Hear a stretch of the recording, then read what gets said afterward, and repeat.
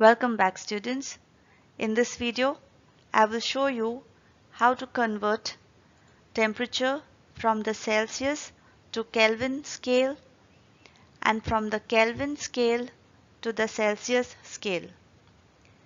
Before we begin with conversion, let us look at the different scales of measuring temperature. We have the Kelvin scale which is written as K. We have the Celsius scale denoted as degree Celsius and we have the Fahrenheit scale denoted as degree Fahrenheit. Kelvin is the SI unit of temperature. The relationship between the Celsius and the Kelvin scale can be stated as follows. 0 degrees Celsius equals to 273.16 Kelvin. But for convenience sake, we will write 0 degrees Celsius equals to 273 Kelvin.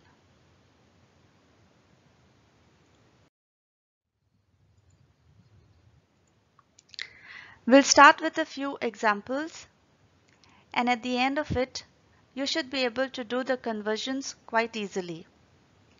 Let's begin by converting temperature from the Celsius scale to the Kelvin scale. To convert temperature from the Celsius to the Kelvin scale, we add 273 to the given temperature. Let's begin by taking an example. If we are to convert 20 degrees Celsius to Kelvin, we will use the formula Kelvin is equal to degree Celsius plus 273. Now using this formula and substituting the value of degree Celsius given, we will proceed with the calculations that is the conversion. So we will get Kelvin is equal to 20 plus 273. This will give us 293 Kelvin. Now from where did we get this 20? This is given here in degrees Celsius. So since we are converting it, we are substituting the value of degree Celsius given and adding it to 273 to get the temperature in Kelvin. Let us take another example. We will see how to convert 373 degrees Celsius to Kelvin. Again we are taking the same formula which is K is equal to degrees Celsius plus 273. So let's see what is given here first. We are given the temperature in degrees Celsius which is 373. Substituting the value of the temperature given, we will proceed further. So we get K is equal to 373 plus 273 and what will that give us? That gives us 646 Kelvin.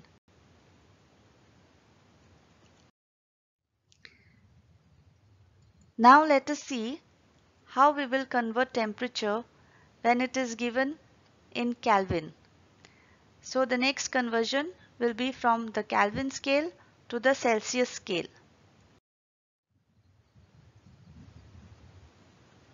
To convert Kelvin to Celsius scale, we will subtract 273 from the given temperature. So let's take an example where we have to convert 293 Kelvin to degree Celsius. We will use the formula degree Celsius equals to Kelvin minus 273. Now let's look at what is given here.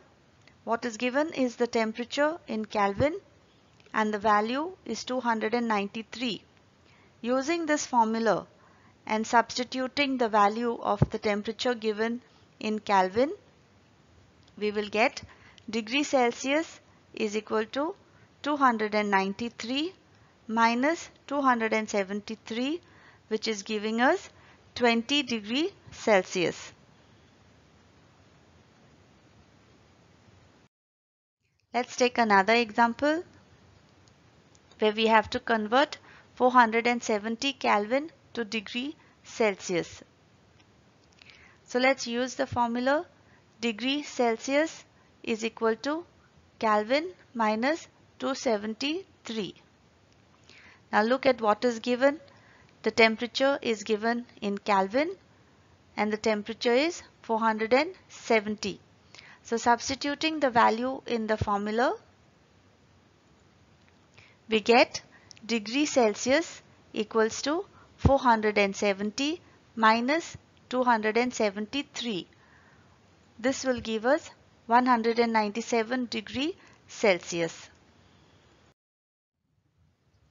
Here are some tips that we need to keep in mind. What is the freezing point of water in degree Celsius and in Kelvin?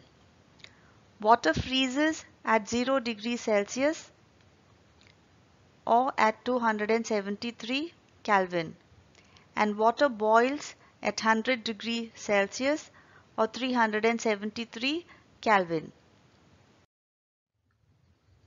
What would be the physical state of water at the given temperatures?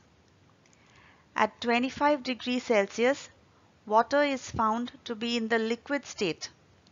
This is the room temperature and at room temperature we know that water is found in the liquid state.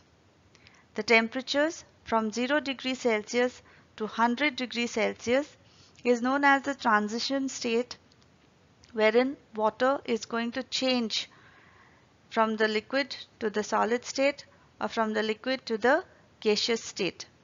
Now 0 degree Celsius as I have shown you in the previous slide it is the freezing point of water so what happens when it is the freezing point of water?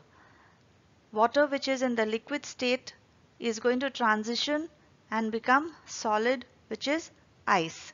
So at 0 degrees Celsius we will find water to be in the transition state that is in the liquid or solid state. At 100 degrees Celsius which is the boiling point of water we will find water to be in the liquid state or in the gaseous state. This again is the transition state of water.